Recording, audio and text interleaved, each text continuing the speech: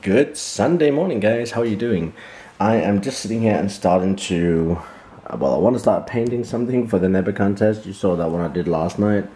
Um, it is a lot more detailed if you come in the light. Um, you don't probably see all the things, but if you get like really close, you can see like there's so many small little dots, which took me a long time to do. Um, this one here I'm going to send to NEPA when I'm when the contest is over.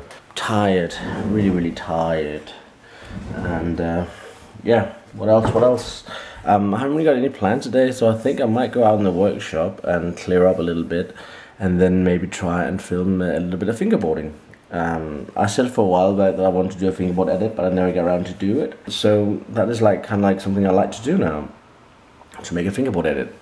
Um, just hope I can nail some tricks. We'll see. I haven't been fingerboarding much. I am one of the only ones I know here in the area of fingerboards like, or have fingerboarded properly, uh, seriously, which is a little bit lonely sometimes. But um, we'll see. Um, I just gotta try and keep it up. Um, I will admit though, kendama has really taken so much of my time. I love kendama and um, I know a lot of you guys out there which are fingerboarders are annoyed that you don't really see much of my fingerboard stuff anymore, but uh, Kendama is to me really really awesome and it's very challenging. So is fingerboarding. But the thing about Kendama is you don't need a table, you don't need an obstacle, or at least you don't need some surface to ride on. Where with Kendama you can just play wherever you are. Um, but I will try and step up my game in coming back to fingerboarding because I do miss it a lot um, I'll just try and I'll have to try and find the joy of doing it on my own. Alright, so I added some more to it. As you can see, I put like a, a dotted shade around some of the edges and also did a, a black line around the edge. That's like that's like it. I think that's really, really well done. But not only that, man, you won't believe this. Um, you, you, some of you probably remember CW Pop One, Christian Weiser. He also has a jewelry um, company, uh, CW Jewelry, on Facebook and he had a competition where um, people should write a reason why they want to win and share it and all that and I did that.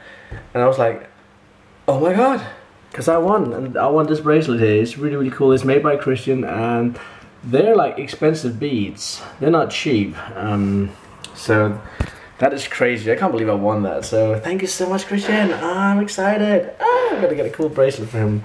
It's gonna be cool and um, yeah, I'm looking forward to wearing it when I go out and stuff like that. It's so windy outside, it's crazy, it's like almost hurricane, and um, I don't really know um, what to uh, to do.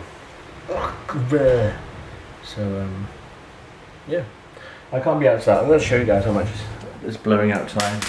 Um, that's why I can't do anything outside. It's really, really windy. But it's it's a beautiful day though, but it's windy. And we've got moles. I'll show you down there. We've got molehills. I'm getting annoyed with these moles.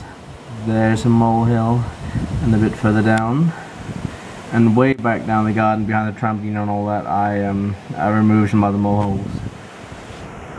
Oh yeah, but um, what else to do besides that drawing contest there? Nothing really but I think this has turned out really nice and um, I kind of like it. So this is going to be my submission for the NEPA. I wasn't too sure if I wanted to do this but no this is going to be it.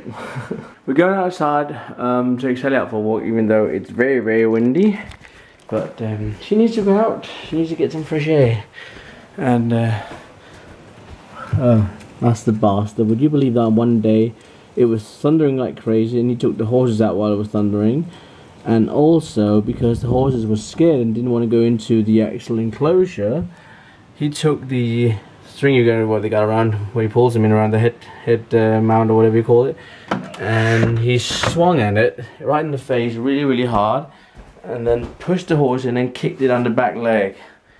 I was not happy about that. And um, Paul's gonna go to the council tomorrow um, because our kitchen is like basically an infestation of flies just because of him um, and not only us but all the neighbors the whole area around here are really really annoyed with it um, with all the flies and it really is extreme it is a problem So um, just making sure all the windows are closed before we go out. That one needs to be closed.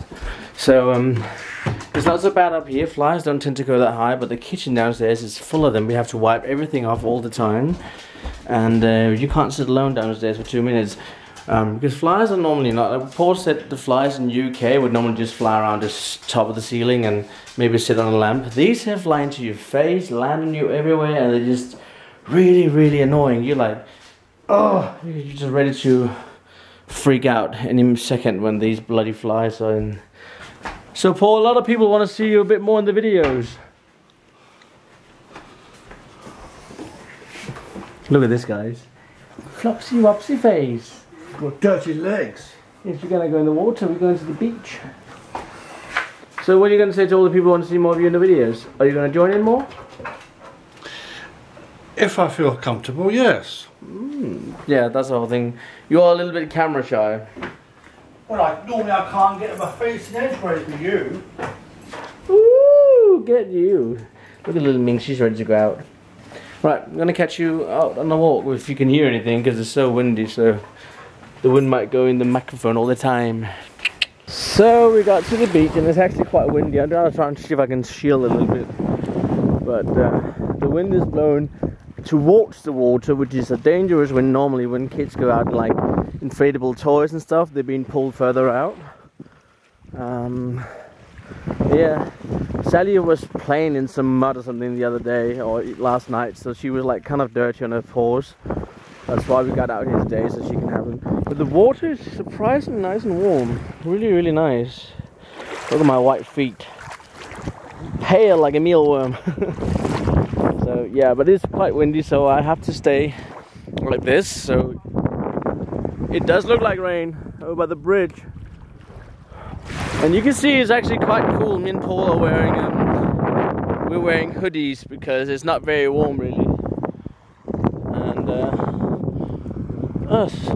Thank you, Sally. Have to go for a poo right there. Thankfully, we got bags. Don't go too far if you're gonna trip. I like how to see out the sand, how it makes these waves under the water. Can you see it? The sand dunes. The water is so nice and warm. Pooh, I can smell it. I need to go and pick it up. I'll be right back, guys. I don't know how much you guys can see. I'm trying to shade for the wind because it's so windy right here. We're out on the bridge now, and Sally's just been in a couple of times. I'm going to show the uh, Great Belt Bridge at night. It looks very nice. See? It's all lit up. And a couple of years ago, the biggest suspension bridge in Denmark. Can't see anything, it's so dark. You gonna have one more swim, Sally? Come on, in here. Come on, come on. Get in. We go home. plop and then get the staircase you need to hit it properly that's it then move away paul because you're gonna shake that's nice you're all clean now but no that that um, is the bridge which denmark is proud of but we hate it in some ways when they built the bridge many years ago the the rule or the the words were that as soon as the bridge was paid off we had to pay a toll to cross it as soon as that was paid, all Danish vehicles should be able to cross free of charge. And then only uh, commercial, like uh, lorries and freight and stuff like that, would have to pay for it, and also uh, tourists. But the normal Danish people should be able to just cross it. Uh, but then they found out how much money came in and just keeping that, so they kept doing that. And now it costs us like, I would say about, how much would that be? A return over that bridge and back again same day would cost easily about $40, $45. And that's just to go from one part of Denmark to another part of Denmark. What if you got family on both sides? I mean, my sister lives on the other side, and a lot of my older family, like from my dad's cousins, all that live on the other side, something called Jutland or Jylland. So we don't get to see them very often because it's so expensive. And we also have a train uh, tunnel going under the water halfway um, which is also very amazing. But again, train ride is so expensive over there. But the wind is getting more crazy out here. I don't know if you can sense it, but uh, we're gonna go in now. What's the matter? You just want to go in again? All right, that's gonna be your last time, Adam. Wow, it's so windy here. Go on, last try. Go on. Go on, Sally. Go on. She's gonna be last dip before we go home. Go on then. Get in. what are you doing? Go on. Go in. Get in. Go on. Jump. Go on. Get in. Come on. Nah, she had enough. All right.